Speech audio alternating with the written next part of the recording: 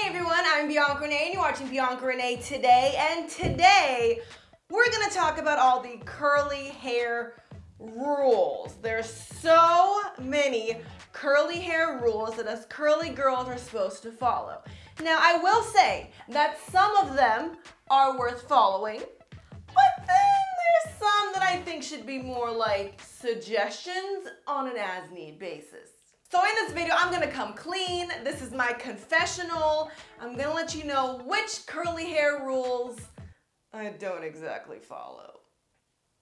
All right, now the first curly hair rule that I know we're supposed to do, and I've even recommended that you do it, but I don't really do it, is using cold or cool water on your hair. Now, if you use cold water, it's supposed to seal the cuticles, making your curls pop even more. Some girls swear by it. It makes sense that your hot water, just continually hitting that in the shower, is damaging your hair. But, I mean, I take really hot showers. I'm guilty. Anyone else, anyone else take really hot showers? Kind of think like it's like a girl thing, but I just enjoy a really hot shower so I rarely, if not ever, use cold water. I'm sorry, I don't. Number two, the other curly hair thing I don't really follow is using oils. I don't apply any oils to my hair. When it comes to my curls, I'm really a minimalist. I use shampoo, conditioner, and one styler. I know one styler does not work for everybody, but that's what I like to do. And adding oil is probably great. It's just an extra step that my lazy self isn't really willing to take. The only time I've ever used oil on my hair would be coconut oil, and I will say that it was the most amazing way to detangle my hair as a pre-poo, but confession number three, I never pre-poo. If you don't know what pre-poo is, Pre-poo is like your step before getting in the shower and using shampoo. Maybe like detangling your hair before you get in the shower. And I have detangled my hair with coconut oil before my shower.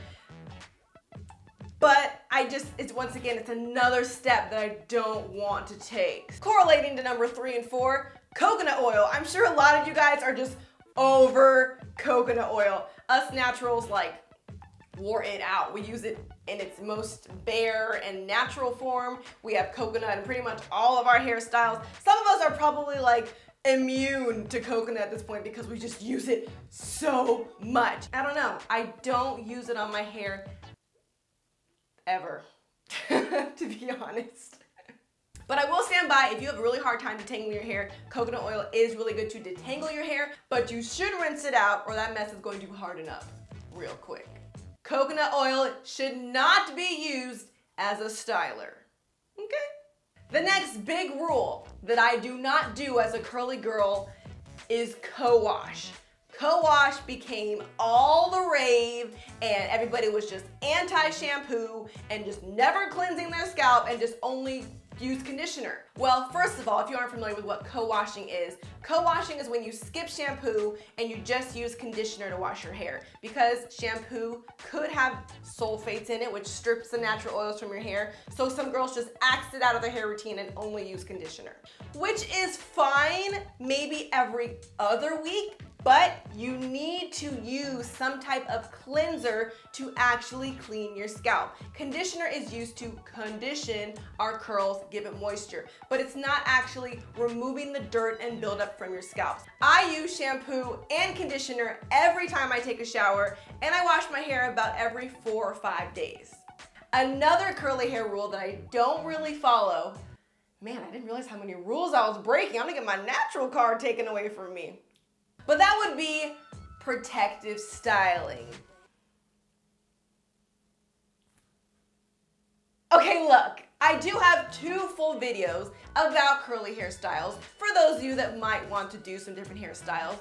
But if I'm being completely honest, I like those styles. That's why I chose those. I just never really actually wear them. I don't really do a protective style until my hair literally can't go one more day. Like when it's definitely time to wash it and I just don't have time. That's when you'll see me in a pineapple, a ponytail, maybe a bun. but only on like day five, six, like pushing my wash days. Do I think protective styling is good? Yes. Does it actually protect your hair from things like the weather? Yes. But don't really do that many that often.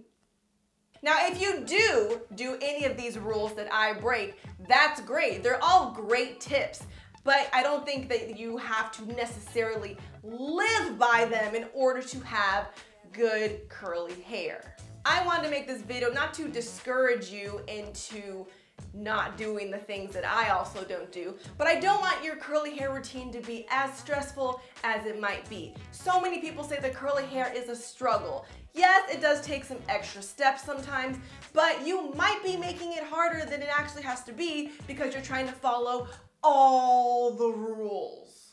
And you might drive yourself crazy. So my best advice to you is to at least try all the rules and see if there's enough benefit to doing it. And if so, keep on doing it. But if you don't see any good results from it, don't think that you have to do it just because it's in the curly girl rule book.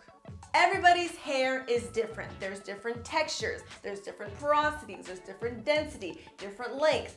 All these things could factor in on how these rules work on your hair. So try them out. If they work, keep on doing them. But if not, don't worry about it. I would love to know what are your curly hair rules that you don't follow. Leave me a comment below and let me know. And if you also relate to any of the things that I just said, let me know so I know we're on the same page. If you want to see me execute these rules and not do some of these rules on a daily basis, make sure you follow me on Twitter, Instagram, and Snapchat at Ms. Bianca Renee. I always give you all my exclusive curl tips in my Instagram story and my Snapchat story. So let's be friends, you know, go ahead and follow me, you know, right now. And push that subscribe button and the bell so you're notified as soon as I post a new video. I hope to see you all next week. Thanks for watching Bianca Renee today.